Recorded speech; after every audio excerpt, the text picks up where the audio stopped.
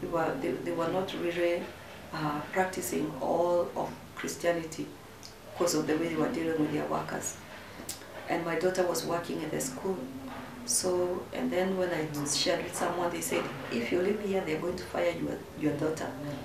So it was so hard for me, but uh, also I had a kind of a burnout and I couldn't work there anymore. And when I saw the doctor, the doctor said I need to rest for three months. I could not give, be given the leave to rest, so I took the advantage and I said I've retired on medical grounds. True to what people were saying, in three days my daughter was fired and even me I was not paid my, my salary, which even today the money is still outstanding, $1,400. Uh, when I left, uh, the doctor had said I'd rest for three months, but God is good, within one month I was already restored back. And uh, I wanted to really come back home. I was remembering my family. Uh, up to that time, had not even come to visit my family because the salaries there are very low. I didn't be able to support the family and at the same time uh, be able to buy a ticket. So, so I, even that time I didn't have the money for the ticket. But even as I was thinking about coming home, the Lord spoke to me and said, I should start my ministry there. I didn't know what to do. I didn't have money. Many people there, there are many missionaries there. They are all uh, sponsored. They are supported by either their mission agencies or their churches. Many they are whites or people from the Western countries. So I am all alone and I have not gone for theology training. So how can I? But the Lord continued to encourage me and I knew that I wouldn't work anymore because even one time I went to do a, an interview in a school when I was leaving and the Lord asking me, so now you want to keep the Bible down and start teaching. So I knew for sure that the Lord didn't want me to, to work. And I didn't have money and my daughter is at home, we were all at home. And the children here in Kenya, they needed support. But I kept on trusting the Lord. Been in Cambodia for eight years. Thank God that God has really taken care of my children, even though they have gone through a lot. But this is my son, Emmanuel. This is my last born. Emmanuel is the third born and my first son. He is like the father of this house. my last born, Grace. I left her when she was on, she was only 10 years. She, we used to go together in many places whenever I was free. So I knew that she was going to really feel uh, my absence, but I thank God because He has always filled their lives. And that's my son, uh, Samuel. He is the fourth born. There are two who are not here.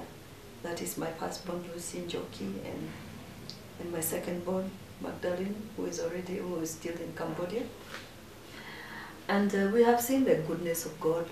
This far, the Lord has brought us. We have many testimonies to give as a family, even though I was absent, but the Lord has been present with them. So um, uh, I come back here and uh, I'd like to share about uh, my ministry in Cambodia. It started from nothing and uh, I started staying with children. You can imagine how, how hard it is giving children who are not your children food when sometimes you know that your own children do not have food. But uh, many times I have done it even as a prophetic action. I say, as I buy these children food, Father, I pray provide for mine at home. And I'm telling you, as you can see, even this, this uh, watermelon, how big it is. This watermelon will show you that God has been faithful in providing food in this home. He has been so faithful. He has, he has been providing through my own children, my firstborn and my secondborn. Even when I'm not able, sometimes even one year I'm not able to send anything to them. But God has promoted them and has been providing for them through their, their through through through through their sisters. That I have that what we plant, we also sow. I've been taking Cambodian children to schools and begging the teachers, oh, please help these children. And now today I'm seeing the same, same thing uh, God doing to my children. So I'll share with you about our ministry, the way it started. After I got a, a burnout and I left the orphanage, uh, I, I went to I went to stay with my daughter but even though the doctor had said that I need three months to get healed, I get healed. I got healed miraculously within one month, and now I really wanted to go back home. That, but at the time that God spoke to me, and He told me to start the ministry there. I didn't know how to do, uh, where to start, because number one, I didn't have money. Number two, uh, I didn't really know what to do. So I joined another another sister who was start, who was starting a church and incidentally, because she was new, I am the one who really played a big role to start that church. So as I was, as we were doing it, I was gaining confidence. Eight months after that, the orphanage was closed down. And when the orphanage was closed down, the big children started reaching out to me, calling me, and then uh, they started coming to where I was because I was living at the ministry of that sister. And, uh, you know, they would tell me, teacher, I don't have food. Teacher, I don't have somewhere to sleep. Teacher, I want to go back to school. And since they were coming so many, this sister that we were uh, working with uh, became uncomfortable. And she, and she said that she doesn't want the children there, those children there. So we had to move out because I couldn't, I couldn't leave these children and chase them away. So um, I decided to take the children and uh, especially the big ones and the ones who wanted to go back to school. And we started our orphanage when we were four. God gave me the name, Hebron Bridge uh, Children's Home. Other children continued to come, and at one time we were 12. I discipled them, I put, I, did, I put discipleship schedules and the English schedules for them.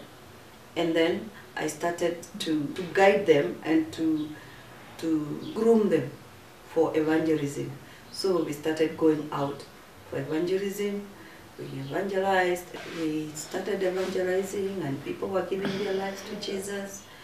Now I had the burden to start the church and come 29th of uh, May 2011, our church was born and the name of the church is Saints in the Gap ministry.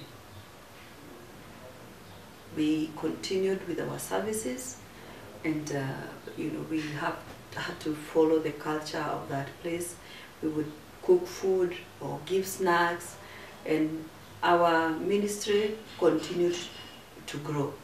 Within that time, I was desiring to, to see somewhere else where God would like me to, to go because of the children's ministry.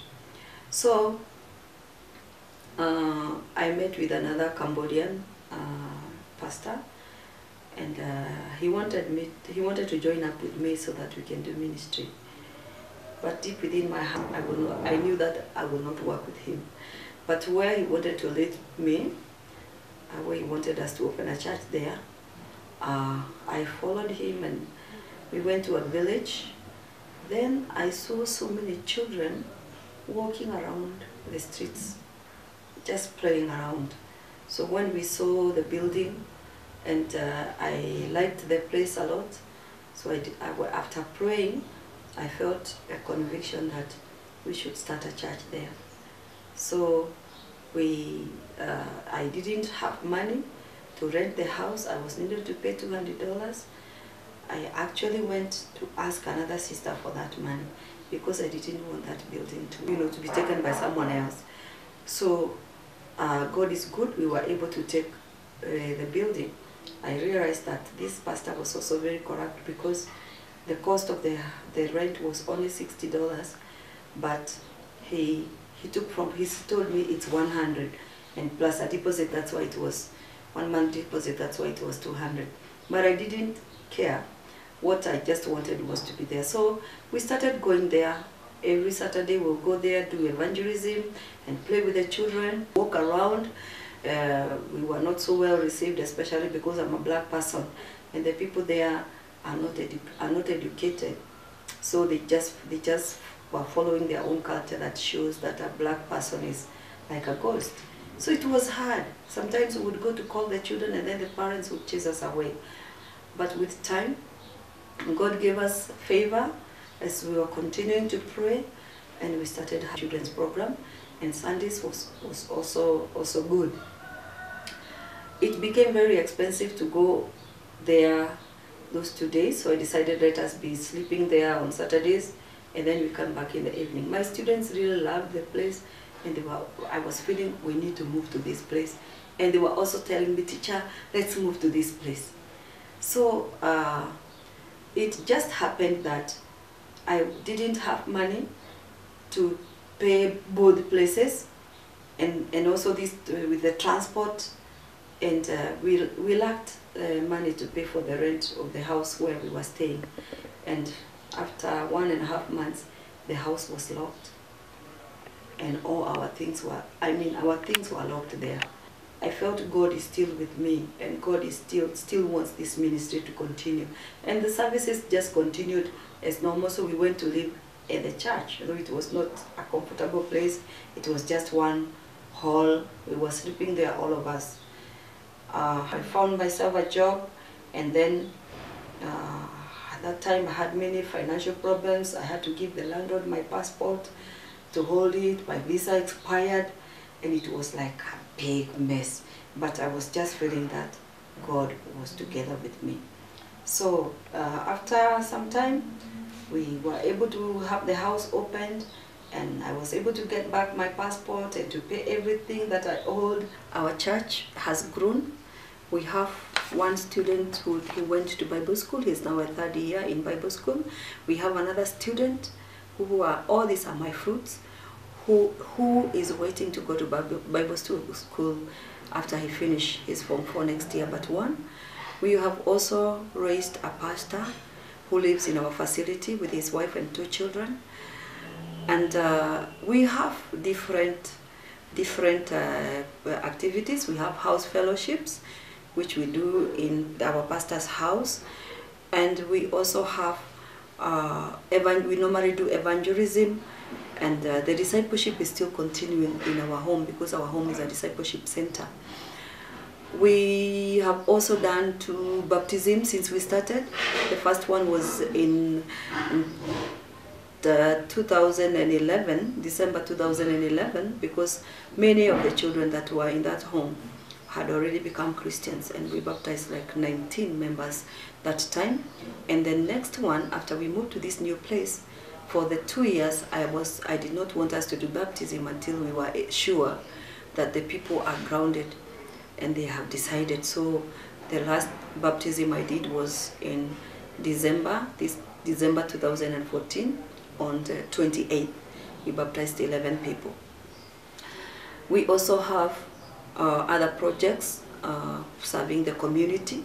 There are many children who have dropped out of school, so we have a project we call Back to School Project. We normally counsel the children, and when they accept we talk to go to back to school, we talk with their mothers. Then we go to the schools and talk with the principals of the schools. Because in Cambodia, the teachers are paid very low money, $100 in one month. So what they do is that they take money from the children, half a dollar for every child. So poor children are not able to go to school because they will not, they don't have that money to pay every day. So we normally go to the principal, we have an understanding with the schools around there, and then the principal will give us a note, we give to the teachers so that they will not take money from the children. Also, because of the small, small children, we have started a school. It is called Hebron Bridge Missions School. This school is a unique school in that area because it's the only Christian school. I'm so blessed by this school. To see the children coming to school and learn the word of God, learn the songs, and we're having many fruits. When we started, the school had many children because we were able to give uh, breakfast. And also, our, we started it in July. Our students are the teachers. They were on holidays. For now, we are facing a challenge because we need to employ more teachers and also we are not now able to give the breakfast because of lack of, of, of support. We also do feeding programs. Uh, we mobilize for support uh, to do feeding programs. Apart from now, the students who stays with us are seven. Those ones, they take three meals every day. And Sundays, we normally have dinner together with the pastor's family. Uh, but time to time, we normally have a feeding program. For example, we normally do a feeding program in Christmas or first of uh, January of every year. Uh, but our feeding programs are like evangelism, evangelistic outreach. We normally give invitations to many people so that even people who are not members of our church can come and they, when they come to, to, to, to eat, we also, we also share the gospel with them. We also have rice giving programs. Uh, uh, many churches in Cambodia, uh, especially uh, local churches, they, know, they, they, they normally give rice.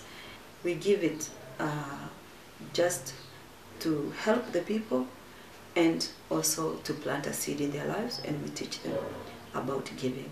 Uh, we also have another program where we help the sick people, like we attend to them uh, because mostly the sick are neglected in Cambodia because of their culture. They believe in reincarnation.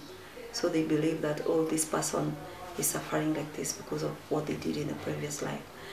So we sometimes I even find ourselves, we find ourselves even washing and cleaning the sick. Uh, but uh, what there is is that we have a project we call hospital project.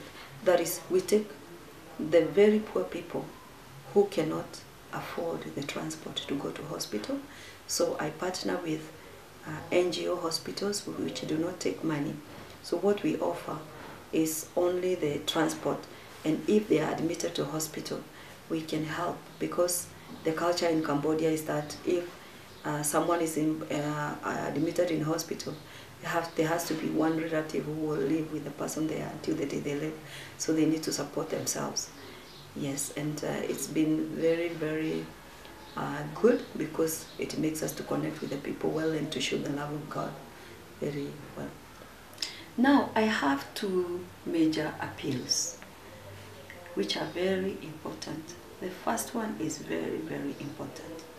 God has made me to know the reason why he sent me to Cambodia is that God wants Africa to go out to the mission field.